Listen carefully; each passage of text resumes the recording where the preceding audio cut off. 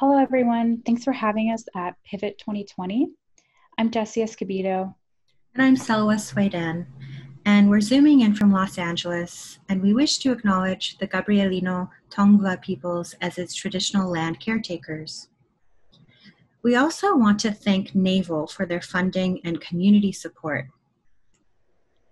And also our participants with whom this would not be possible. Our research focuses on applying theories of decolonization to augmented reality, or AR.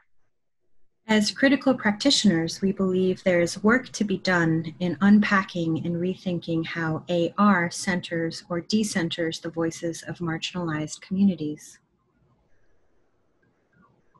AR enables an overlay of information onto the physical world.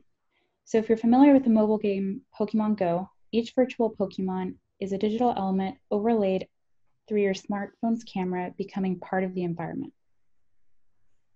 Today, we're sharing two things. Firstly, an open syllabus, and secondly, the output of our co-creative making laboratory, which was a micropluriverse, where we engaged in embodied and critical prototyping to recenter narratives through AR. This lab ran over seven sessions, which were roughly two to five hours each between October 2019 to February of this year. And in the spirit of Ramon Tejada's Decolonizing Design Reader, we were interested in creating a shareable community resource both for formal and informal design education and contexts. In the first stage, we discussed readings on decolonization, critical geography, and critical AR. We then moved from reading to making by synthesizing our learnings through affinity mapping. This inspired a personal cosmology exercise where we translated Arturo Escobar's thinking, feeling, and ontological cosmology ideas into a series of prompts. This cosmology exercise became a key tool for participants to address their own constructs and worldviews as they may be impacted by colonization. We then conducted fieldwork and followed Ken Gonzales-Day's Lynching in the West Los Angeles Downtown Walking Tour. Because augmented reality is a tool which is mapped onto a spatial plane, we felt it was important to engage in critical spatial praxis. And finally, with Lily and Chris, we developed a three hour critical making workshop in AR to prototype a micropluriverse. Iterating on the personal cosmology exercise, participants worked in pairs to perform a moment or a blip from their cosmology in situ at Naval. And now we'll show you the prototype of one pair, Elizabeth and Maxwell.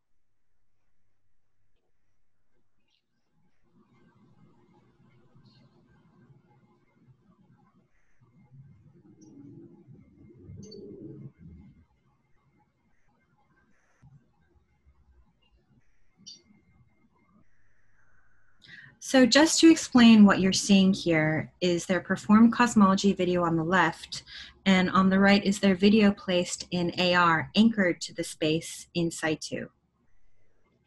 To quote Maxwell, for my cosmology prototype, I poked holes in a dollar bill to symbolize reducing my attachment to money.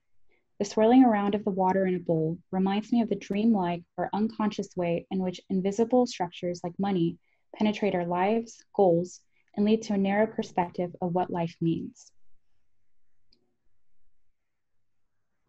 Here are the rest of the prototypes that were anchored in situ at Naval. For the purpose of this presentation, we're now showing them all on one screen. And we're reflecting on the first stage of the open syllabus and whether to add new questions given that decolonization is so broad.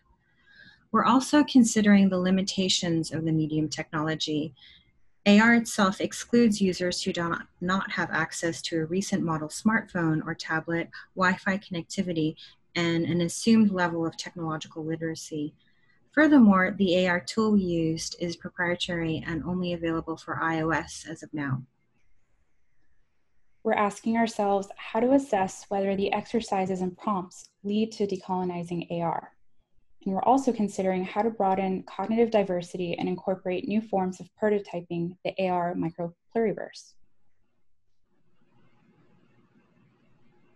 Some next steps would be expanding participant perspectives and reaching out to different communities. Also, we're considering other workflows of prototyping in AR that involve more ontological relationships to the land. And with this in mind, we're putting together a decolonial-thon to prototype outdoors and to think feel with the earth in a micro ecosystem in Los Angeles. We're also working to figure out logistics of accessibility in our syllabus, both in terms of requirements to engage with AR tools and the reading list itself. In summary, the open syllabus models how we might apply theories of decolonizing design to an emerging tool such as augmented reality. It offers a critical reading list and design briefs. And finally, it demonstrates how an AR tool can be used to prototype a pluriverse.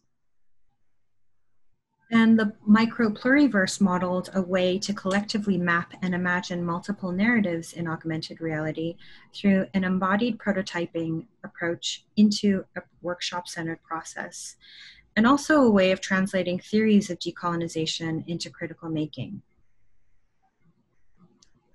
So, thank you. We look forward to discussing any feedback or questions you have.